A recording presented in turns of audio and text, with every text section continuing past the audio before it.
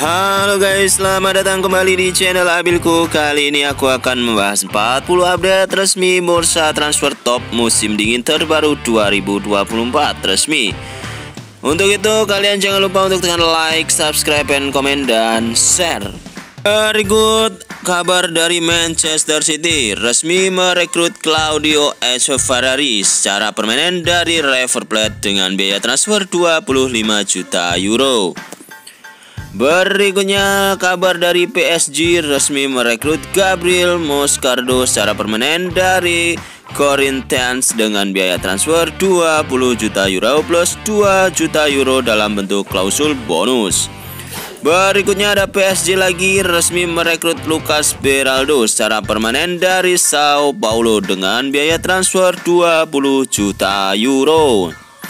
Berikutnya kabar dari Barcelona resmi merekrut Vitor Roque secara permanen dari Atletico Paranaense dengan biaya transfer 40 juta euro.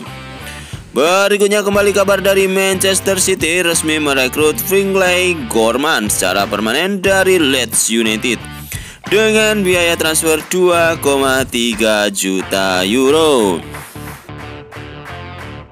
Yang pertama kabar dari Bayern Munchen resmi merekrut Eric Dier secara permanen dari Tottenham dengan biaya transfer senilai 4 juta euro.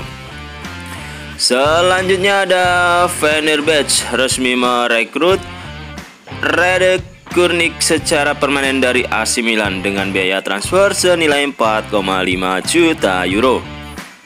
Berikutnya kabar dari AC Monza resmi meminjam Daniel Maldini dari AC Milan selama setengah musim dengan status pinjaman. Berikutnya ada Sevilla. Sevilla resmi meminjam Lucien Agome dari Inter Milan selama setengah musim dengan klausul opsi beli permanen senilai 8 juta euro. Berikutnya ada internasional resmi merekrut Lucas Alario secara permanen dari Frankfurt dengan biaya transfer senilai 3 juta euro. Berikutnya ada Orlando City resmi merekrut Nicolas Lodiero dari Seattle Sounders dengan status bebas transfer setelah kontraknya di Seattle Sounders selesai.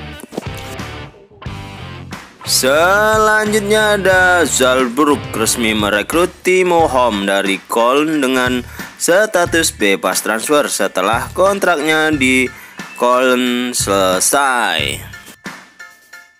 Jadon Sancho resmi merapat ke Dortmund dengan status pinjaman. Berikutnya ada Tottenham Hotspur resmi merekrut Radu Dragusin secara permanen dari Genoa dengan biaya transfer senilai 25 juta euro plus 5 juta euro dalam bentuk kausul bonus add-on plus jet spends dipinjamkan selama setengah musim. Selanjutnya datang dari Genoa resmi meminjam jet spends dari Tottenham selama setengah musim dengan kausul opsi beli permanen senilai 10 juta euro. The Jets fans menjadi salah satu bagian dari kesepakatan transfer Radu Dragusin.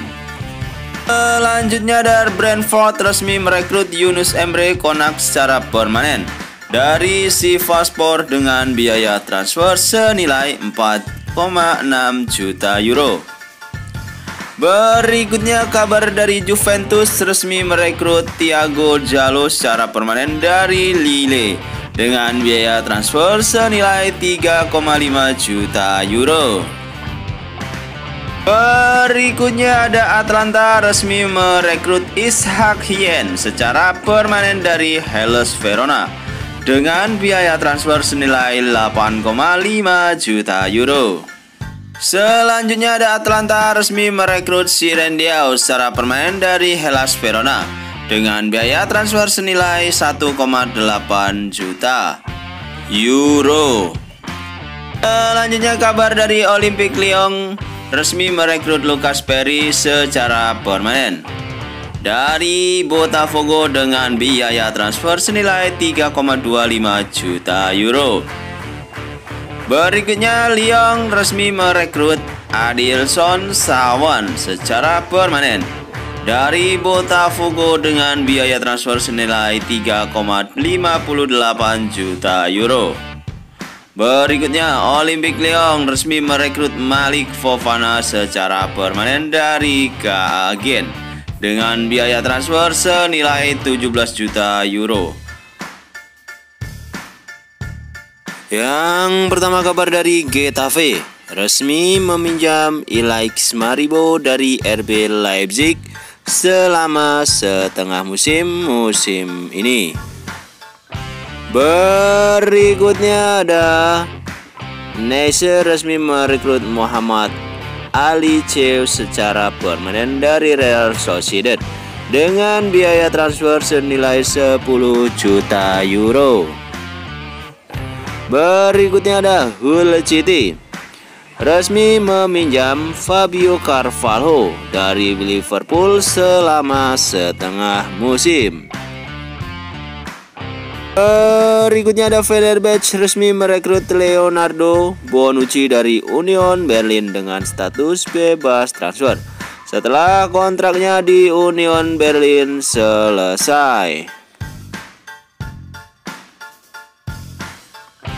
Yang pertama ada Marcel resmi meminjam Jen Onana dari Bexitas selama setengah musim.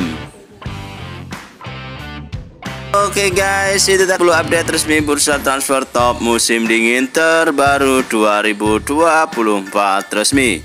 Terima kasih sudah menonton video ini. Jangan lupa kalian untuk tekan like, subscribe, dan komen, dan share sebanyak-banyaknya. Terima kasih.